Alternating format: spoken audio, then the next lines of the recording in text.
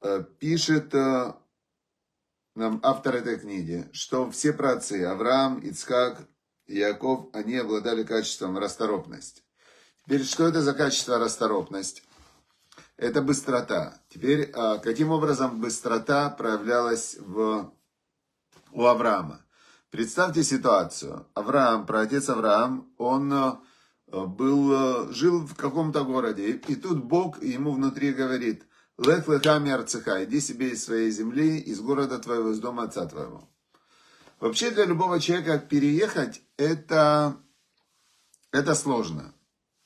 Это реально очень сложно. Мы с женой переезжали больше 20 раз с разного, с места на место, больше 20 раз. И, значит, переезд это всегда сложно. Если человек не расторопный, то его не, не быстрый, не, не деятельный, то его любое движение, оно будет его тяготить, ему будет все время стресс. И он будет э, тормозить. Тормозить он будет Теперь, ну что, все праведники, они стремились действовать быстро. Откуда у них была эта быстрота? И вот здесь э, я сегодня думал, у меня была одна такая сложная ситуация в голове, э, что я думал, как мне правильно поступить в одном месте. И вот э, небольшая такая штука, но мне казалось, что где-то со мной кто-то там не, не очень справедливо поступил, но если я сейчас начну вот этот вот разговор Э, ну, качели, то это будет конфликт. А вот это будет конфликт, э, я могу, например, в этом конфликте конкретно выиграть, но с человеком прервутся отношения, ухудшатся. И я вот все думаю, ну вот на этом уровне, как мне? А если я не, как бы, не, ну, приму вот эту ситуацию, то я вроде пройду, пойду против себя. Для меня это уже второй день, это меня волнует эта ситуация. И вот здесь я читаю, значит, читаю я здесь сегодня про Авраама и Ицхака. Оба по желанию сердца исполняли волю Творца Всевышнего. Праотцы были весьма на высокой ступени праведности, и они через выполнение воли Творца, они прилепились ко Всевышнему и соединились с Ним великим единением, да, с Богом. И значит, а, а какая у них была цель? Что они хотели?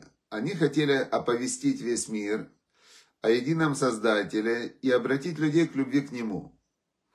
Исполняя служение Всевышнему и Его заповеди, праотцы как бы лишались своей телесной оболочки, и разум их стремился к любви к Создателю, Творцу мира. И потому они исполняли все расторопно. А, и тебе, значит, следует знать, что качество расторопности есть начало всех достоинств. И вот я сижу и думаю, вот, вот это вот у меня сейчас такая заноза, она маленькая, но она у меня забирает очень э, мысли, энергию и время, да, какая-то вот эта вот ситуация. Если я останусь на этом уровне и дальше начну эту занозу расковыривать, да, то она у меня заберет еще больше. Теперь, если я поверну как бы ракурс, да, а что для меня важно в жизни вообще? Ну, жизнь проходит, э, жизнь она же Э, ну вот день за днем, месяц за месяцем, год за годом, опа, она исчезает. И можно всю свою жизнь потратить на какие-то детальные вот такие вот э, микроконфликты, а можно посвятить чему-то большему, да, там, любовь ко Всевышнему, выполнение заповедей. И тогда меняется формат, меняется формат, и ты думаешь, так, вот в этой ситуации мне нужно ее пройти максимально гладко, чтобы она не занимала никакого у меня внимания и сил. То есть меняется ракурс. Если ты начинаешь, э, если твой ракурс, да, главная твоя цель, главная твоя цель, главное твое намерение, это соединение со Всевышним, да, выполнение его воли, тогда у тебя все твои решения будут они на другом уровне. И Всевышний даст энергию, потому что когда ты соединяешься со Всевышним и выполняешь его волю, он дает тебе силу. Дальше, а чем заниматься тогда? Как соединиться со Всевышним? Значит, здесь у нас есть э, три, э, три главных направления, которые, которые вот через них мы соединяемся со Всевышним. Первое – учеба, учеба Торы. Второе – это молитва. И третье – это что? Это действия, добрые дела. То есть вот эти вот три направления, только через них и можно соединиться с Богом. Все остальное, это ты можешь делать для себя, казалось бы, для себя, да, для какой-то части себя. Но с Богом можно соединиться только через три направления. Учеба Торы, постижение мудрости Всевышнего. Молитва – это благодарность Всевышнему и просьба у Всевышнего. И добрые дела, когда ты делаешь добро для других людей, ты проводник воли Всевышнего. Вот, вот этот вот Максим задал отличный вопрос, и у меня, я как раз э, после субботы, я вчера был на свадьбе, вчера или позавчера, позавчера. Позавчера был на свадьбе. Там была э, как раз дочка Равыцка Казильбера, Рабанит Хава Куперман. И я в, договорился Мацей Шаббат, после Шаббата к ней заехать. И я вот я хочу задать, вот как раз Максим прям вообще просто а, голос Всевышнего. Вот я подумал, вот что я хочу спросить. Я хочу, есть сейчас несколько разных таких вопросов, э, как строить жизнь, которые я у нее хочу спросить, вот как в этих ситуациях, как э, она же дочка его, она с ним всю жизнь прожила, как бы он поступал в этих ситуациях, какие у него были в этих ситуациях правила, обычаи, принципы. Вот я хочу у нее узнать, и это мне поможет выстроить как-то свой, свой какой-то путь. Хорошо, значит, давайте еще раз. Есть три, э, три направления, в которых нужно проявлять расторопность. Это то, что Бог сказал делать. Когда ты делаешь то, что Бог сказал делать, Он тебе дает силу. И тогда все твои бытовые вопросы будут решаться ну, быстро, легко и, и так, как хорошо для тебя. Значит, э, дальше он говорит, нельзя делать перекос. Пусть не скажет человек уже вечер, если я сейчас начну учиться, так я, значит, не помолюсь хорошо. Э, написано в притчах царя Соломона, кто не слушает Тору, молитва его отвратительна. Представляете? Это очень интересная вещь. Написано, что, а, а, по-моему, а мы си разно мишмо Тура гам твилато тоева. Тот, кто убирает свое ухо от, э, от того, чтобы слушать, изучать Тору, его молитва тоже для Бога Тайва это мерзость. Как это работает? Вот представьте ситуацию. Подходит, например, к... Я подхожу к... Кому я подхожу, например? К Миле Лурия. Говорю, Мила, помоги мне, пожалуйста, там... Э, мне нужно, в общем, помоги мне в какой-то сфере. Мила говорит, э, Ицхак, давай тебе расскажу вначале, в чем твоя ошибка и как тебе правильно надо в этой сфере действовать. Я говорю, Мила, послушай, мне твои размышления вообще не важны, и знания твои не важны. Мне нужно, чтобы ты мне помогла сделала за меня или для меня. Получается, что...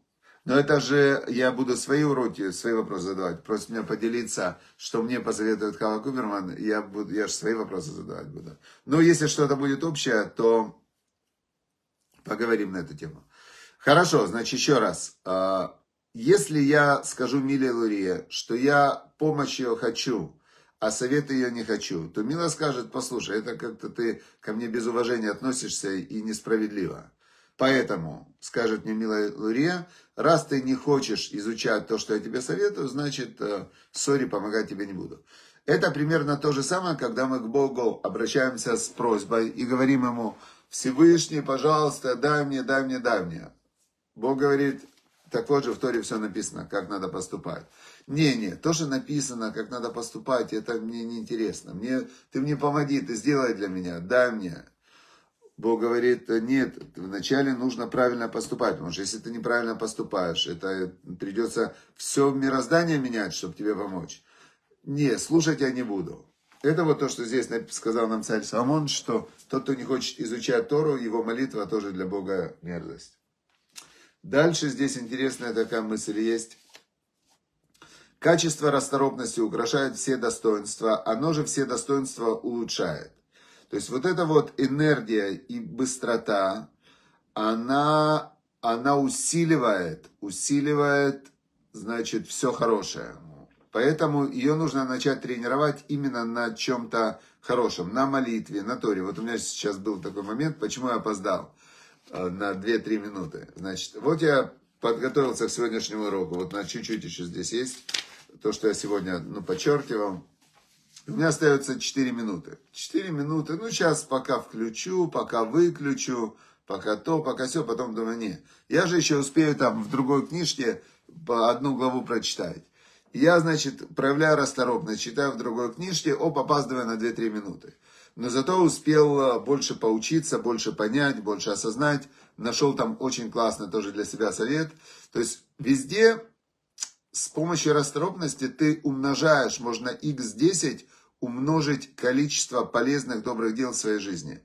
Учебы, молитвы, э, спорта. Я считаю, спорт это тоже невероятно полезная штука, которая нужна каждому человеку, чтобы быть еще более энергичным. То есть человек говорит, у меня нету сил. Нету у тебя сил, потому что ты не тренируешься. Теперь прояви 5 минут свою расторопность, поделай упражнения, и ты перезарядишь свое тело. Через месяц ежедневных занятий у тебя будет силы в два раза больше. Дальше говорит э, автор этой книги, значит, вот, например, где еще обычно люди ленятся, где нужно применять расторопность. Пойти что-то посмотреть в какой-то книге. Раньше же не было телефонов, нужно было за каждой книгой встать, пройти, взять, положить на место. Кто-то у тебя что-то просит, бедный пришел тебя просить хлеба, не говори, ой, я не могу пойти, нет у меня сил. Пойди, принеси хлеб.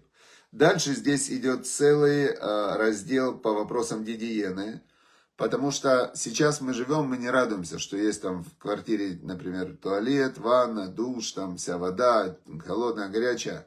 Раньше это было просто, даже в солнечной Ницце, раньше было туалет, значит, на пляже, или не на пляже, но там лет еще 300 назад в, во Франции вообще не было же водопровода, света не было, ничего не было, даже 100 лет назад. Поэтому здесь целая страница о том, что как пойти, вымыть руки, помыться там и так далее. И вопросы туалета. Он говорит такую вещь. Необходима особая расторопность, чтобы не сдерживать себя по надобности даже на минуту, чтобы не приступить запрет Торы, не делайте себя отвратительными. То есть, когда человеку, у него есть потребность идти в туалет, то по Торе нельзя сдерживаться. Нельзя сдерживаться, нужно обязательно идти в туалет. Почему? Потому что, значит, э, тот, кто сдерживается, наводит на себя серьезные болезни. Тысячи лет назад написано, по Торе конкретно, это очень важная вещь. Значит, и после того, как ты сходишь в туалет, раньше в туалет нужно было идти куда-то на двор, какие-то ямы, там все такое, был говняк. Потом нужно помыться, найти, где помыться. Потом нужно там, где ты ходил в туалет и мылся, ты не можешь сказать благословение, нужно отойти и сказать благословение. То есть целая была история. И, наверное, поэтому была продолжительность жизни в два раза ниже, чем сейчас, что большинство людей ленились это делать, руки не мыли и болели разными инфекционными заболеваниями и умирали. Дальше. И также нужна расторопность, чтобы встать рано утром, прогнать солнце своих вес и отправиться учить Тору. И вот здесь самое сегодня важное, значит, важнейшая такая вещь. Значит, э, нужно расторопно удалиться от своих дурных мыслей, от зависти, ненависти и от мысли о женщинах и склонить свои мысли по воле Всевышнего. Все это требует наивысшей расторопности. Если же настигнет сожаление о смерти друга, или о потере имущества, или о страдании, нужно себя пересилить быстро, изгнать горе из своего сердца, чтобы сердце было чистым, и направить свои мысли к любви ко Всевышнему. Следует уяснять себе, что суд и приговор Всевышнего справедливы, принять с любовью, стремиться к учению, молитве и добрым делам и обратить свои намерения во имя Всевышнего. Вот здесь я хотел бы остановиться подробно. Вот человек, например, а, плохо себя чувствует. Начинает думать на эту тему. Теперь начинает он думать на эту тему, о, я плохо себя чувствую, у меня то болит, это болит. И вот, и он, значит, мысли его пошли в эту сторону. Потом он говорит, вот, война там, война здесь, и, значит, он еще себя грузанул. Потом он еще посмотрел, там открывает э, Facebook, кто-то из его знакомых погиб, кто-то из, там, не дай бог, из родственников э, заболел. Он в депрессию. Теперь говорит нам автор этой книги, и что ты получил с этого? Что ты с этого получил? Чем больше ты погружаешься вот в эти вот э, негативные мысли, тем тебе хуже. Теперь Мышление это же это автомат, как привычка. И ты можешь, э, если ты привыкаешь думать негативные мысли, а энергия это проявление, проявление эмоций, это проявление, это энергетическое проявление мыслей. И вот человек, который думает грустные мысли, он э, вырабатывает внутри э, негативные эмоции. Эти негативные эмоции пропитывают его тело, и у него, значит, как говорил нам царь Соломон, что если у него дух сломается, так кто его понесет? То есть, если у человека дух сломался, то все, у него тело рассыпается. Говорит нам автор этой книги, расторопно перенеси свои мысли на что-то хорошее. Да, Всевышний в этом мире, он так устроил мир, что человек живет в лучшем случае там 80 лет, и в лучшем случае 80 лет он живет здоровым, а в, во многих случаях он живет меньше. Бывают в жизни огорчения, как говорится, это так устроен мир. Да? Когда человек направляет свое внимание на негативные вещи и в них варится, то негатив пропитывает его жизнь и ломает ее. Теперь, если человек обнаружил себя, что он в эмоциональной яме, что он все время варится мыслью в негативе, то он должен расторопно перевести себя на что-то позитивное на благодарность. У самого человека, у него что-то болит. Но у него же болит, я помню, к маме пришел, вот у меня болят ноги. Я говорю, ну руки же не болят-то. Ну, что ты, что ты на ногах сосредоточилась? Сосредоточься на руках. Как классно, что руки не болят. Слава Богу, и руки не болят. Начни руками шевелить, начни руками разминать ноги. Вместо того, чтобы думать, что у меня ноги болят, поставь себе цель. Хочу, чтобы ноги не болели. Я сейчас давай, что мне сделать? Хочу, посмотрю пару видео, как мне сделать, чтобы ноги не болели. Что советуют одни врачи, что другие. Попробую, что эти советуют. Попробую, что эти советуют. А, опять же, внимание, если уже ничего не помогает, то все, что про это думать, уже не помогает. Буду думать про руки. Руки-то работают, слава богу. Может, руки накачать, чтобы были большие мощные руки, и, значит, руками буду что-то хорошее делать, да?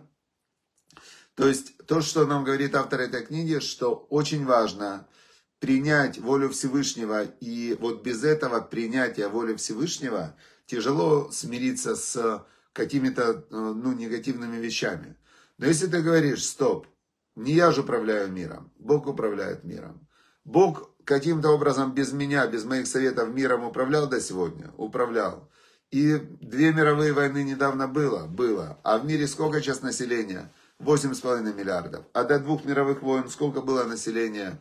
4 миллиарда. В два раза увеличивалось население мира. И как, каким-то образом Бог разобрался. Айфоны появились? Появились. Значит, э, там что появилось еще? Интернет появился, там какие-то вакцины появились. То есть столько в мире хорошего, позитивного, прекрасного, что все свое внимание, еще раз я повторю, я всех очень люблю, кроме журналистов. Самые большие враги, я считаю, мира, это журналисты, которые через СМИ, они именно зацикливают внимание людей на негативе. Люди погружаются в негатив, начинают внутри проецировать негатив. А каждый же человек, он соединен с Богом. И получается, что люди, которые боятся и волнуются, они, значит, э, они как бы производят негативную энергию, и они же делают несчастными себя и других людей. А журналисты, которые показывают вот этот вот негативный взгляд на мир, абсолютно узкие, абсолютно какой-то вообще журналисты, ну вот очень, чаще всего очень плохие люди, знаете, их еще Ильф и Петров называли шакалы ротационных машин. Эти акробаты фарца, шакалы ротационных машин. Вруны, и они искажают, э, искажают реальность до, не, до невозможности. Да, вот эти вот все... А цель у них одна. Знаете, какая цель у журналистов? Цель у журналистов одна. Заработать денег. А так как деньги платят за то, что читают, то они вот э, смотрят и значит, смотрят и пишут то, что люди будут читать, а люди пугливые, и они сидят, вау, чем их сильнее испугаешь, тем они больше будут читать. И в итоге получается, значит, такая цепная реакция. Журналисты пугают, люди пугаются, пуганные люди, они пугают других. И вот так вот в мире, но в мире все великолепно. На самом-то деле все равно, слава Богу, людей глупых, которые вообще ничего не читают, больше, чем которые читают. То есть, вы знаете, есть много людей, которые вообще ничего не читают. В Африке полтора миллиарда живет людей, вообще ничего не читают. И нормально живут, радуются. Еды нет, воды нету, денег нету, они живут счастливо и радуются. Все, всем удачи, успехов. Значит, есть э, три вещи, которыми стоит заниматься. Это Тора, молитва и добрые дела. Тот, кто этим занимается и умеет управлять своим мышлением, он быстро переводит мышление с негатива, как сказал царь, царь Давид. Он сказал, сур мира, отодвинься от зла и делай добро. Все. Убери свое внимание от зла и направь его на добро. Убери внимание с тех проблем, на которые ты не влияешь, и направь на свою жизнь, на то, что ты влияешь. Болят ноги, значит, поставь цель, чтобы ноги не болели. Значит, и думай о руках, благодари Всевышнего, радуйся, что руки не болят, и занимайся ногами. Все, вот это то, что вы можете сделать. Да, и как говорил профессор Преображенский, не читайте советские газеты, не читайте. Все, всем удачи, успехов, до завтра. Встречаемся с Божьей помощью завтра. Расторопно. Сегодня можно успеть. Давайте сегодня успеем сделать в два раза больше хороших дел за счет расторопности. И с Божьей помощью наступит мир. Если будет мир внутри, мир будет в семье, и тогда будет мир вокруг. Просто за счет молитвы. Просто скажите Всевышнему, Всевышний, ну хватит уже. И он, вот нужно выключить в мире 3-5 человек и 100 журналистов. И в мире будет мир. Всего лишь 3-5 человек э, правителей, злобных маньяков в мире. Причем ни в одной стране. Я думаю, что сейчас так совпало, что во всех странах мира правители злобные маньяки. Да, почему-то так совпало. Журналисты где-то, ну, может, не 100, там, тысячи журналистов отключит Всевышний и все. И опять будет все нормально, потому что нормальные люди, они все добрые, все хотят воспитывать детей, развлекаться, работать, создавать что-то полезное. Никто не хочет воевать. Никто в мире, нормальные люди воевать не хотят. Это факт. Добрые люди не хотят воевать. А злые люди, они почему злые? Их обижали очень сильно. То есть вот тут такая интересная вещь, что человек злой, он же, в чем проблема-то? А значит, не будет информационного голода. А слон Александр, книжки есть, слава богу. Есть книжки, есть мудрость, есть наука, есть очень много хороших, добрых э, вещей, о которых можно размышлять, думать и изучать. Плохие, злые люди, вот интересно, они потом создают много зла. И это вот так оно работает. Так работает. И вот сейчас захватили власть несколько прям реально злых, плохих людей, которые другим людям тоже хотят принести зло. И мы сейчас оказались в состоянии какой-то войны, какой-то там конфликтности, да, но это не нужно. До 2014 года не было ни войны, ни конфликтности. И было все хорошо было все хорошо, все спокойно, и можно жить без войны, без конфликтности, и хорошим, нормальным, добрым людям все было нормально.